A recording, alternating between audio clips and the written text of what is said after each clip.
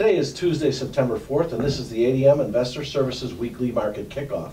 Please note that the views and opinions expressed here today are solely those of our guests and should not be construed as the views or opinions of ADM Investor Services or Archer Daniels Midland Company. Today's guests are Steve Freed, Vice President of Grain Research at ADMIS, and Alan Bush, ADM Investor Services Senior Financial Economist.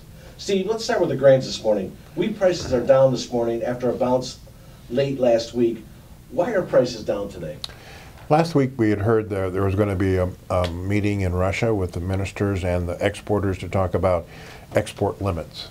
Uh, they had the meeting, they came out and they said, we're not going to have any limits. So all the prices that we put in anticipation of that, we're taking it out. The, the problem is this could be a good buying opportunity for end users because eventually Russia is expected to run out of wheat for export before their next harvest. Corn prices also bounced higher on Friday. Why is this? And it's noteworthy that the December open interest is over 1 million contracts for the first time ever. Can you comment on what this might mean for the corn market? Well, the corn market is dealing with two major factors, opposing factors. Number one is you're going to have a harvest of a record crop.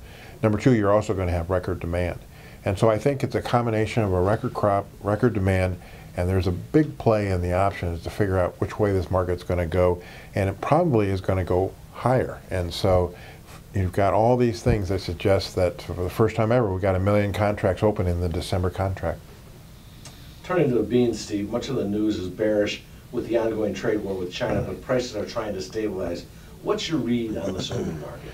It's interesting that Argentina's government is a mess. Uh, they're broke, and the IMF says they have to increase revenue and reduce costs in order to get bridge loans to help their government.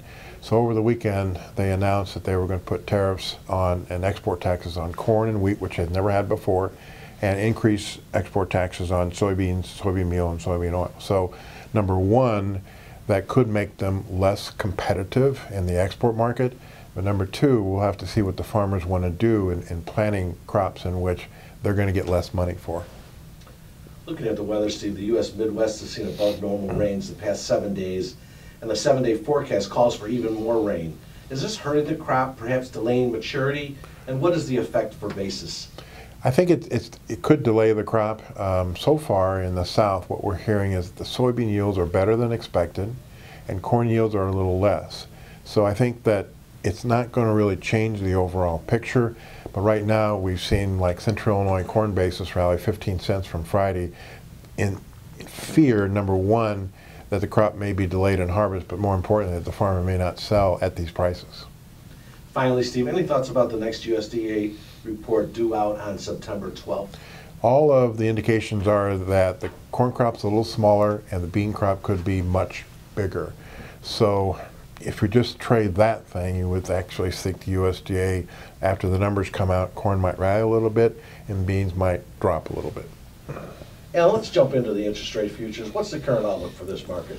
Well, it still looks lower. Uh, we do have what appears to be the Fed raising rates two more times this year. One, one time in uh, uh, later this month uh, on the 26th, and most likely another time in December.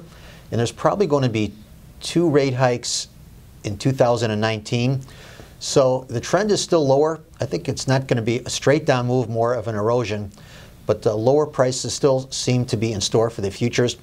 However, today, the bonds are about a full point lower, very much underperforming the news, which would suggest that the uh, very near term uh, trend is lower. For futures to under, underperform as badly as they are today, that suggests follow through weakness for the next couple of days. On copper, why has copper been so weak lately? And can we look for a bottom in this market? I think it's more of a timing factor, not so much price that we, we would be looking at, but more uh, in regard to time. So as long as the U.S. China trade issues remain and are apparently not likely to be, be resolved anytime soon. I would expect lower prices for copper. In fact, all of the base metals, I, I think, are likely to come under pressure. But as soon as it appears that the, there is some type of trade agreement in the works, that is likely to be the, the timing for a bottom. And in fact, that should be the, a bottom for all of the base metals and probably all the precious metals as well. Is China still the major factor for base metals, industrial metals in general? Absolutely, it is. Uh, The dollar, to some degree, also a factor, but they're very much combined, but it's, it's the, the trade situation that is the dominant influence undermining the metals. Finally, Alan, looking at the stock index futures, the Russell 2000 futures advanced to new record highs today. The S&P 500 and NASDAQ futures reached historical highs last week. What is the outlook for the stock indexes? Will we continue to climb? I think that uh, we will see higher prices. Now, in- indices are lower today. Uh, The trade situation is uh, a factor adversely affecting stock index futures, uh, at least in today's trade, uh, since the uh, uh, morning hours. However, I would not be surprised to see a move back to higher on the day in the S&P. It was quite a bit lower uh, earlier today. Coming back though, so nothing has changed longer term. It still appears that the U.S. stock index futures are likely to advance, and it also seems that U.S. equity markets are very much overperforming what we're seeing elsewhere, especially in China. So, of course, uh, the consensus view is nobody wins a trade war, but the U.S. appears to be holding up much better than uh, what is, is happening in China. So, the, uh, the short answer is yes, stock index futures are still very much likely to, to advance. Thank you both. Remember, the views and opinions expressed here today in this video are solely those of our guests and should not be construed as the views or opinions of ADM Investor Services or Archer Daniels Midland Company. You'd like more information about our brokerage services, would like to speak to one of our experts about managing your risks, or would like to open a trading account, please visit www.admis.com.